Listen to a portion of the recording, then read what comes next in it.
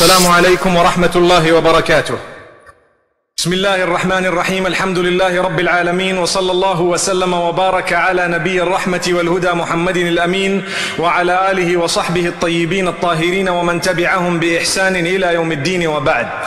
We praise Allah subhanahu wa ta'ala, send blessings and salutations upon Muhammad sallallahu alayhi wa sallam, his entire household and all his companions. May Allah subhanahu wa ta'ala bless every single one of them and may he bless every single one of us too. Ameen. Brothers and sisters, Mus'ab ibn Umair radiyallahu anhu. Mus'ab ibn Umair radiyallahu anhu. A companion of Muhammad sallallahu wasallam who accepted Islam in the early days in Makkah al-Mukarramah when he was still in his teens. He was from one of the wealthiest homes in Mecca, a young boy. They say when you look at him, you would be able to see from his face that he is from a very wealthy background. And if you had to shake his hand, you would know that it was so soft, it definitely came from luxury living. And at the same time, he could be smelt before he was seen which means if you could smell the scent, you would know that Mus'ab is around the corner. Subhanallah. This was a man whose parents loved him dearly. And he was in his teens, he heard about Muhammad sallallahu alayhi wasallam. He was a person who wore the best of clothing from amongst the youngsters of Quraysh. And he probably drank and ate some of the best food from amongst those of his age group in Quraysh. They looked after him so well. Him and his family members were quite close knit. Yet when he heard about Muhammad sallallahu alayhi wasallam, he decided to listen to what the message was all about. And he found that this message was something unique. One of the days in the night, he decided to go tiptoeing to the house of Al-Arqam ibn Abil Arqam, radiyallahu anhu. And he knocked on the door. A soft knock was heard on the door. When they opened the door, they found Mus'ab ibn Umair, this teenager, one of the wealthiest in Mecca, the children of one of the wealthiest in Mecca. And the Sahaba radiallahu anhum, they were so delighted. Rasulullah sallallahu alayhi wasallam was happy. They welcomed him in. He sat down. Muhammad sallallahu alayhi wasallam did not cut his speech, he continued talking. On that eve, he was talking about the fire and Jahannam and life after death and how people will either go into heaven or hell depending on the deeds that they have done in their lifetime. And Mus'ab ibn Umair heard all this and he heard several verses of the Quran being recited. It touched his heart and he knew that what my people are doing is absolutely wrong. They fight with each other. They are killing each other. They are worshipping stones and sticks and they have a lot of superstitious beliefs. So Mus'ab ibn Umair declared his faith to Muhammad sallallahu alayhi wasallam in the house of Al-Arqam ibn Abil Arqam. But because he came from a background that was quite different, he chose to keep it a secret. It was between him and the Muslimin that he had accepted Islam. Every night, just like the others, he used to tiptoe out of his home and he used to go to the house of Al-Arqam ibn Abi Al-Arqam radiallahu anh, where they used to meet with Muhammad sallallahu alayhi wasallam and learn the Quran and learn revelation and learn about the belief in Allah subhanahu wa ta'ala. And what happened? He learned so much. He became known as a person who knew more of the Quran than others in his age group. What a powerful youngster. May Allah subhanahu wa ta'ala make us and our youth from those who are keen on learning and from those who fight laziness. Today, one of the biggest hobbies that a lot of the youth have is to sleep. May Allah subhanahu wa ta'ala safeguard us. May Allah grant us ease and goodness. Every moment we waste, wallahi, we have thrown it aside. May Allah make us from amongst those who realize and understand that while sleep is important, too much of it is actually not only detrimental to our health, but even to our spirituality and our link with Allah and our preparation for the day that we meet with Allah subhanahu wa ta'ala. So, there was a man known as Uthman ibn Talha. We spoke about him the other day. Uthman ibn Talha, he saw Al-Arqam, he saw Mus'ab ibn Umair go to the house of Al-Arqam ibn Abil Arqam by night. And he saw him do that more than once. And then he saw him pray the salah that was that of Muhammad sallallahu alayhi wasallam. At that time, salah was not compulsory. The prayer was not compulsory, but they used to pray on a voluntary basis. So he saw Mus'ab ibn Umair fulfill the prayer in the way that Muhammad sallallahu alayhi wasallam prays. So what did he do? Uthman ibn Talha went to the mother of Musab ibn Umair and told her that you know what? Your son has followed that man who has reneged from our faith and our religion, Muhammad ibn Abdullah. May Allah subhanahu wa ta'ala grant us goodness. So Uthman ibn Talha, when he told the mother that and Quraysh found that out, his parents called him. Musab ibn Umair's parents called him because he was the most beloved child. And they started convincing him, you know, what you're doing is wrong. We come from a very wealthy background. We are very influential people. What don't you have in your life? You are leading a life of luxury. And the son kept on saying, you know what? What Muhammad has said is right. I need to prepare for paradise. What we have in this world is not enough for us to go to heaven if we do not believe in the oneness of our Maker and worship Him and Him alone. So the youngster, they continued to try to persuade him, we will punish you, we will penalize you, we will take away whatever we've given you. He did not listen to them. So what they did is, they tied him in the home. They literally tied him and kept him in the house. They did not let him come out. He still did not turn. They stopped his food and drink, his clothing and so many other things. They began to punish him, penalize him, so much so that the people of Quraysh engaged or participated in harming this youngster that came from a very wealthy background. He lost everything he had, subhanallah. Yet the day, a few days before that, when he accepted Islam, the Sahaba radiallahu anhum say, before he entered, we could already smell that Musab ibn Umair is coming. Subhanallah. And a few days later, he lost everything. The perfumes are gone, the clothing is gone, the food is gone, and he starts losing weight. And after some time, Rasulullah sallallahu alayhi wasallam allowed some of his companions to go to Africa, Africa, Habasha. So Mus'ab ibn Umair was one of those who went in the first batch, according to some narrations. And after a few days or after some time, there was rumor that the, Mus the, Muslims were victorious and so on. So some of them came back. Musab ibn Umair was one of those who came back. Spent a little bit more time in Mecca and went back to Africa. So some of the narrations say he went twice. Some of them say he went once. But what is confirmed is he definitely did go to Africa and he spent time there. But he missed Muhammad sallallahu alayhi wasallam. So he decided, I'm going back to Mecca. So now he went back to Makkah al Mukarramah and he spent more time with Muhammad sallallahu alaihi wasallam. But this time he was not with his own family. He was a person who was like a homeless person, where as wealthy as he was, and as rich as his family was prior to him accepting Islam and the fact that he lost everything, he did not go back to what his forefathers were doing.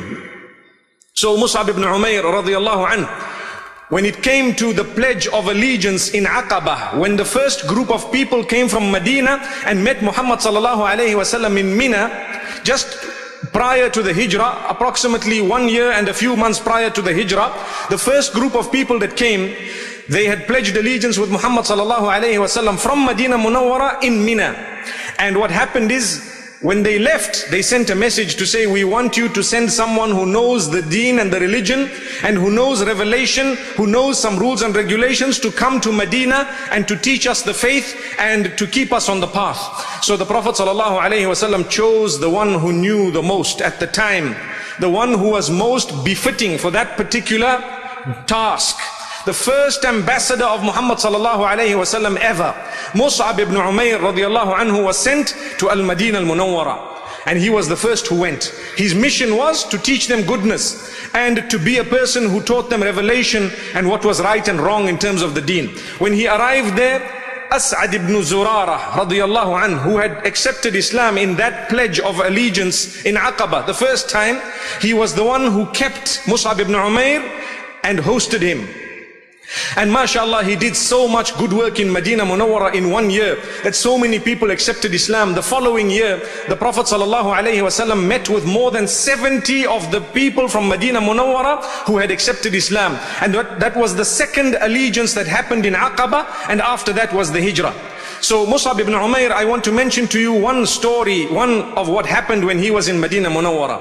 It is reported that Usaid ibn Hudayr, who was one of the leaders of Bani Abdul Ashhal from the people of Medina Munawwara, he heard of Mus'ab having come and spent his days with As'ad ibn Zurara radiallahu an, and this man was very upset because people were now talking in Medina about the true religion, the religion of monotheism. and the messenger that had come to Mecca. So Usayd ibn Hudayr decided, let's go and beat up this man and sort him out. Similar to what Umar ibn al-Khattab radiallahu anhu decided some time back with Muhammad sallallahu alayhi wasallam. So Usayd ibn Hudayr got his spear and he marched towards where Mus'ab ibn Umair radiallahu anhu was. And As'ad ibn Zurara saw this man coming and he told Mus'ab, this is one of the leaders of Bani Abdul Ashhal. And the truth is, he's a very harsh man. He's a very harsh man. Be careful. Mus'ab ibn Umair was calm. As Usayd ibn Hudayr walks in, he started swearing and shouting and screaming, you are the one who has split our community into two. You are the one who did this and that. Mus'ab ibn Umair says, would you not like to sit down and listen to a few words of what I've said? If I'm wrong, perhaps you may decide to do something to me, but if I'm right and correct, perhaps you will listen to what I have to say. So Usayd ibn Hudayr saw that this young man was very intelligent. He said, okay, let's listen to what you have. So he mentioned verses of the Quran, he spoke about goodness, he spoke about worshipping Allah alone, he spoke about Jannah and Jahannam, accountability. And Usayd ibn Hudayr says, you know what? What you have said makes the most sense from any speech I've ever heard in my life. How do I enter the fold of this religion? So Mus'ab ibn Umair says, well, you need to bathe correctly and come and declare the Shahada. So he bathed and he came and declared the Shahada. In the meantime, Sa'd ibn Mu'adh, who was one of the other leaders of Bani Abdul Ashhal, he decides that he wants to do the job that Usayd ibn Hudayr did not do. When he saw Usayd ibn Hudayr come back with a different face, he looked at him and said, Usayd, you went out to do something to Mus'ab ibn Umair, but I see you've come back a very calm person. He says, I tell you what that man has said has touched me, subhanallah. So when Sa'd ibn Mu'adh radiallahu at that time he was not a Muslim yet, he went to do exactly the same thing that Usayd ibn Hudayr had gone to do, and exactly the same thing happened to him too, where he heard the speech and the statement because Mus'ab ibn Umair was such a calm youngster, very handsome, very, very calm. And what happened is, he calmed him down and this man, it touched his heart and he accepted the faith. He says, I bear witness that definitely Allah is one and Muhammad sallallahu alayhi wasallam is the messenger of Allah subhanahu wa ta'ala. So in this way, this man Sa'd ibn Mu'adh went back to Bani al-Ashhal, his people. And they told him, oh Sa'd, you went to do this to Mus'ab ibn Umair. You came back and you are following his faith. So he himself said, don't you consider me one of your leaders? They said, yes. Well, I am telling you what the man has said is right. So the bulk of them, if not all of that particular group, Bani al-Ashhal accepted Islam more or less the same day. Subhanallah. This was the effort of Musab ibn Umair radiallahu anh. He was a man whom when he came back from Abyssinia, Muhammad sallallahu alayhi wasallam saw him. The Sahaba radiallahu anhum were crying because they saw him now. His skin had changed. He became rough and tough. He did not have proper clothing. He was dressed in cloth that did not even cover him properly. Yet just a few years earlier, he, when he entered Islam, he had clothing that was dragging on the floor. Subhanallah. It did not deter him. So much so that later he returned with those who went to pledge the second allegiance to Makkah al-Mukarramah and he did not come back except when the hijrah took place. He was the first together with Abdullah ibn Ummi Maktoum radiyallahu anhu. The two of them were the first to do the hijrah to Medina Munawwara. So he was in Medina before the hijrah. He went back to Mecca and he was one of the first or the first with Abdullah ibn Ummi Maktoum radiallahu an to engage in that particular hijrah. My brothers and sisters, the battle of Badr took place. Muhammad sallallahu alayhi wasallam gave Mus'ab ibn Umair the white flag of the Muslims and mashallah he did very well. The battle of Uhud took place with the kuffar of Quraysh who had beaten up the same people and in fact, just before that, after the battle of Badr, the brother of Musab ibn Umair was amongst the captives. So Musab ibn Umair passed his brother and his name was Abu Aziz. And he looks at him and he says to the, the captors, those who had taken him captive, that this man asked for a lot of wealth. He has a very rich mother, subhanallah, and that's his own brother. So the brother looks at him and says, what are you saying? He says, I know what I'm saying. You have a very wealthy mother and she will pay for you. Subhanallah. Anyway, the battle of Uhud, what happened at the battle of Uhud was, Musab ibn Umair was given the flag of the Muslimin. And as he was participating in the battle, a certain man from amongst the enemy came and sliced his right hand. So the flag fell. And at that time, when the flag falls, it means the, that group has lost. So when the flag fell, he immediately caught it with the other hand. And that enemy sliced the other hand. So he immediately caught it underneath his chin, according to some narrations, or he held it with part of his mouth and with his shoulder and made sure it was up until they hit him again and the flag dropped until another companion of Muhammad sallallahu alayhi wasallam got hold of that flag. Subhanallah. And this was the day that Mus'ab ibn Umair was martyred on the day of Uhud. So much so that Muhammad sallallahu alayhi wasallam after that was looking at the martyrs. From amongst them was Hamza ibn Abdul Muttalib. From amongst them was Mus'ab ibn Umair radiyallahu anhum jami'an. May Allah be pleased with all of them. When they tried to bury him, they found that they did not have enough material and cloth to bury him. If they covered his face, his feet were showing. If they covered his feet, his face was showing. And Muhammad sallallahu alayhi wasallam says, Wallahi, there was a time when I did not know a person who had a more luxurious life than this man. And today, out of his love of Allah and Rasulullah sallallahu alaihi wasallam and this deen of his, he has sacrificed in a way that he has nothing to even cover his body after he has been martyred. So Muhammad sallallahu alaihi wasallam chose to cover his face and asked for a green branch to cover where his feet were. May Allah subhanahu wa ta'ala grant him paradise. When we go to Uhud, we should remember the name Mus'ab ibn Umair radiyallahu anhu as well and we should say our salam to him. May Allah's peace be upon him and upon Hamza ibn Abdul Muttalib and the others who lost their lives on that particular day of Uhud. This was Mus'ab ibn Umair in a nutshell. May Allah subhanahu wa ta'ala grant us a lesson. Our next hero is someone who had a similar background but in a totally different area. He comes from Isfahan where Iran is today, the Persian Empire. A young boy from another very wealthy home. His father was the chief of a village known as Jayyan in Isfahan. And this man, he was the chief of the village, he looked after his children. His son was also the favorite to him. Subhanallah. He did not leave his son. The son's name was Salman. Salman from Persia. Salman al-Farisi. Subhanallah. This Salman radiallahu anh, young boy, his father loved him, again a wealthy person. You could see that he was from a very wealthy background. But he was very deeply involved in what his family was involved in. They were the leaders of the fire worshippers and those who worshiped the sun. Then they were known as Al-Majus. So he used to be in charge as a young boy of keeping the flame alive. So he would bring for it fuel all the time and people worship the flame. And he used to tell himself, you know, I keep the flame alive.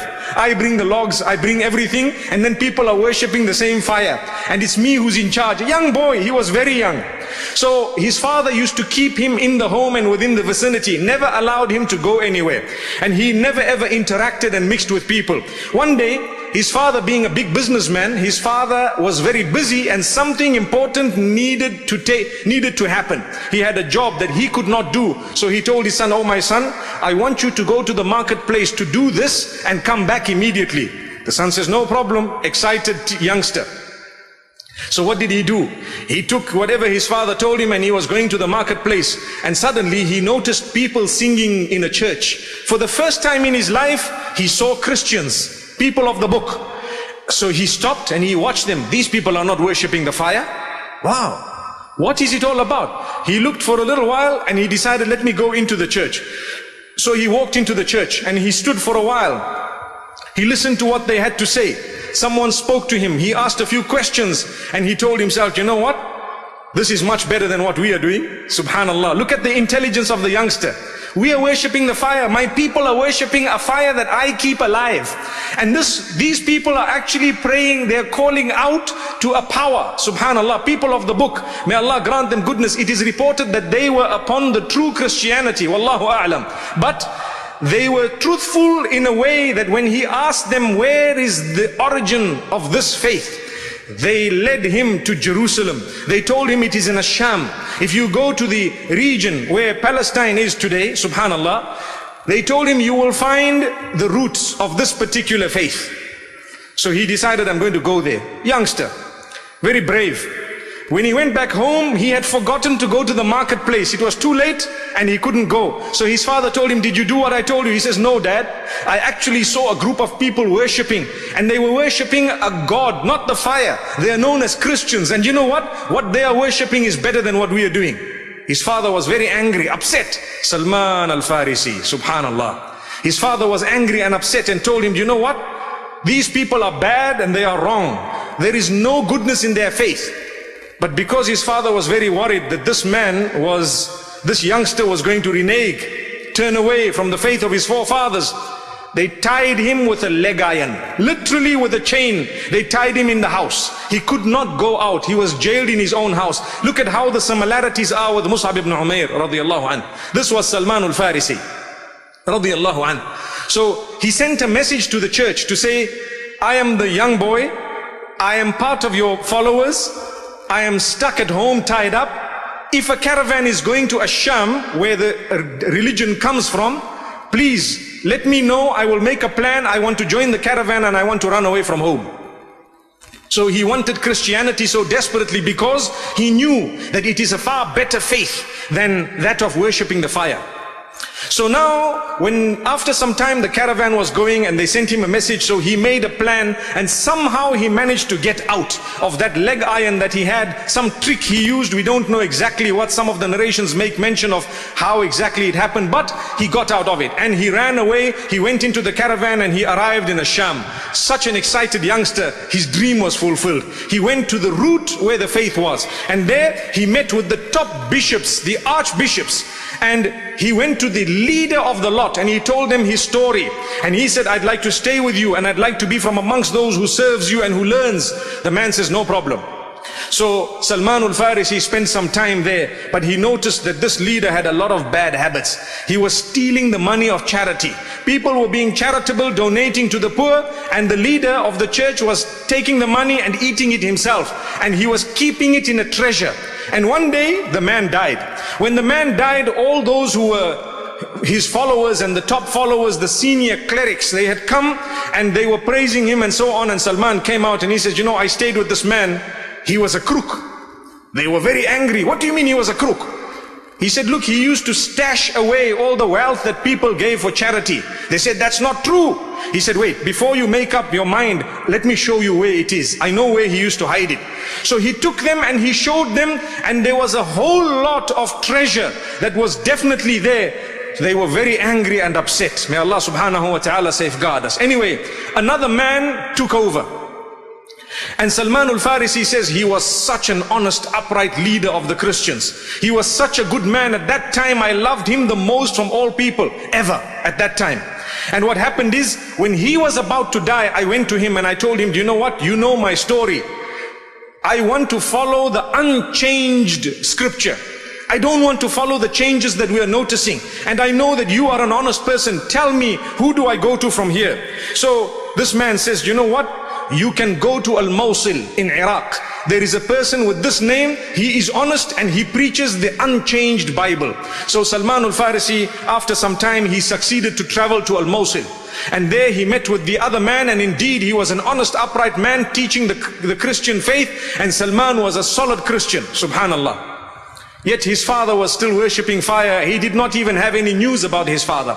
And after that, this man also, when he was at his deathbed, Salman al-Farisi went to him and told him, do you know my story? I want to follow the unchanged Bible and I want you to tell me where do I go to meet a truthful person because I've seen others who have been untruthful. So that man told him, go to An-Nasibin, another place, a certain area towards a Sham, from Iraq, between Iraq and Sham.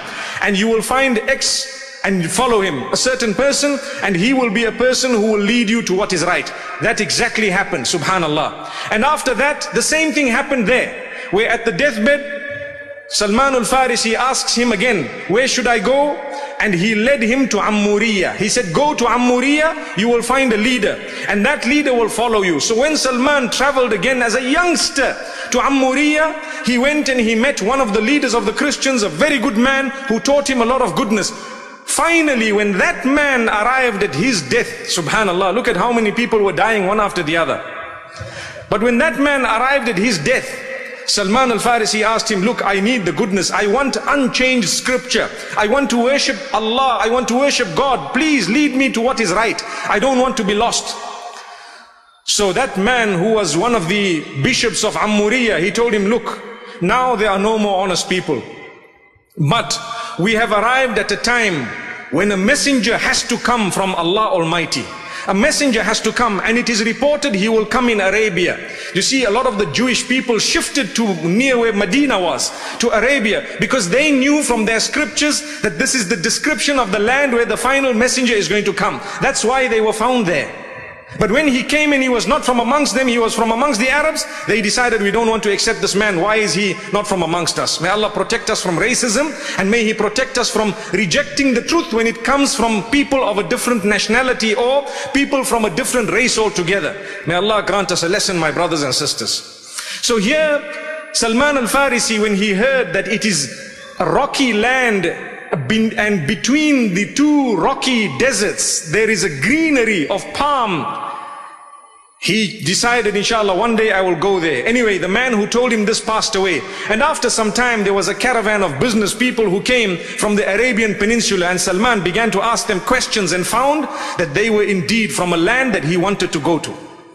Look at how Allah takes him. From where to where? So Salman decides, you know, I've got a few of these animals with me. Can I give them to you? They were people from the Kalb tribe. I give them to you and you take me to Arabia. They said, no problem. They took his animals, they took him. When they got to a place known as Wadi al-Qura, they told him, right, we are enslaving you. You are now a captive of ours and you now will be sold in the market. He was shocked. He was shocked, but he knew that Allah will not do something bad to him. So they sold him to someone who was a Jewish man and that Jewish man took him in Wadi al-Qura. And Salman began to work and he worked very hard, subhanallah. And he worked so hard and after some time, the cousins of this man, one of them came to Wadi al-Qura and bought Salman off his own cousin. And who was this cousin? The cousin was from Banu Qurayza. They had settled around Medina. So Salman he decided, okay, I'm going with this new master of mine, let me go. He was a free man, a free boy who was enslaved unjustly. And here he was being sold from one to the other. But Allah wanted him to get to Medina by at any cost, subhanallah. So when he got to Banu Qurayza, he noticed the desert, he noticed the rocks, he saw the greenery, the orchards, and he was so excited. He says, Subhanallah, I'm sure this is the place where this messenger is going to come. And he was so happy and delighted. So he worked very hard for this master of his. And one day, another cousin came in from Al-Madinah Al-Munawwara. One of the Jewish people had come to see his master. And he was busy on one of the trees taking out some dates. And what happened is he heard this man say that Oh, Al-Aws and Al-Khazraj, they will be destroyed. Look at them. They want to follow a man who's just come from Mecca. He's claiming to be a prophet and he's claiming to say this and that. Salman says, I got such a, a surprise, such a pleasant surprise. I shook in a way that I almost dropped off the tree. And I quickly rushed down the tree and got to my master with his cousin. And I said, what did you say? Can you repeat it? And my master gave me one smack and sent me back to work. He says, who are you? What do you have to do with this? Go back. He says, but I heard. They said that he is living in Quba. So that night, very quietly, I took some dates. Why did I take dates? He says, that man in Amuriya, one of those Christian leaders told me that when the messenger comes, there will be clear signs that prove he's a messenger. He will not eat charity, but he will eat from a gift. And he will have a mark on his back, that which will be a seal of prophethood. When you see that, you know he is the Prophet. So Salman al-Farisi, radiallahu anh, he decides to take some dates. And he went to Quba. He says, I saw this messenger. I looked at him. I was so excited. And I, I said, you know, you people are not from this place. I've brought some charity that I want to give you. These are some dates and I want you to eat them. So Muhammad sallallahu thanked him and accepted the charity and so on. And the Sahaba, some of them began to eat. But Muhammad sallallahu did not eat. Why? because it was a charity. So Salman says, okay, that's one, one sign done. So after a few days, he heard that Muhammad ﷺ shifted to Medina already. He went to Medina with some more dates and he looked at Muhammad ﷺ. He says, oh, he, he, he, told, he told him, you know what, I've brought you a gift because I believe you don't eat charity. So Muhammad ﷺ took it, gave some of his companions and ate from it. So he said, okay, that's the second sign, done. This man eats a gift, but he won't eat a charity. Then after some, after a few days, there was someone who died and was being buried. And Muhammad was at Baqi' assisting in the burial. So Salman had arrived in Baqi' and he noticed Muhammad between his clothing, he was looking very hard to see that mark on his back where his shoulders are. And he's trying to look where is the seal? So Muhammad looked at him and noticed that he's trying to look at the seal of prophethood. So he actually pushed his clothing off in a, in a way that the seal became clear when Salman saw it he began to weep and he kissed Muhammad and he declared his shahada he says, I've seen all three signs and told him his story. Subhanallah. But now the problem was, he was a slave. So what happened? He could not take part in the battle of Badr. He could not take part in the battle of Uhud. Then Muhammad says, you know what, O Salman? Ask your master if we can buy you or if you can pay for your own freedom. So he spoke to his master. His master told him something impossible. He says, I want you to plant 300 date palms that all bear fruit.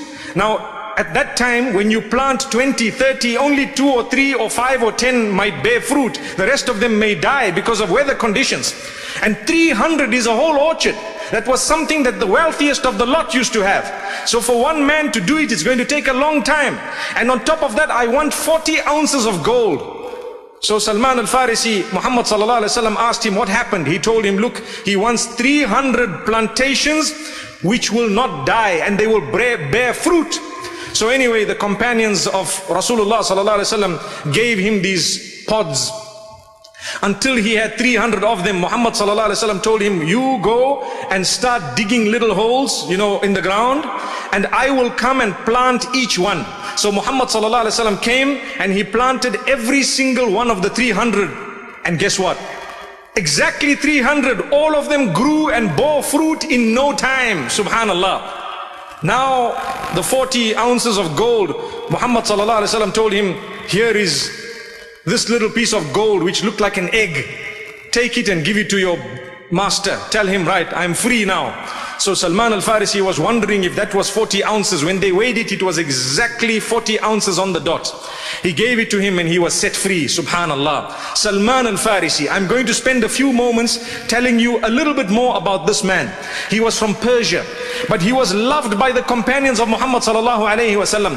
The battle of the trench he is the hero of the battle of the trench because when the kuffar of Mecca, they were thousands who were now coming to Medina in order to attack the Muslims. There was no way that they were not going to be entering Medina Munawwara. But Salman al-Farisi was one of those who said, O messenger, in Persia, when the enemy comes and we want to block him from coming, we used to dig a big trench approximately 10 meters by 16 meters. And we used to make sure that they cannot even cross the trench so they don't enter the city at all. So let us do it. And subhanallah, that was adopted by Muhammad sallallahu alayhi wasallam. Hence it is called the battle of the trench. Why? Salman al-Farisi radiallahu anhu, it was his idea. And Allah subhanahu wa ta'ala confirmed it for Muhammad sallallahu alayhi wasallam. This was the young man from Persia. So during that battle, subhanallah, they, they dug in no time in the parts around Medina Munawwara where it was accessible to enter from.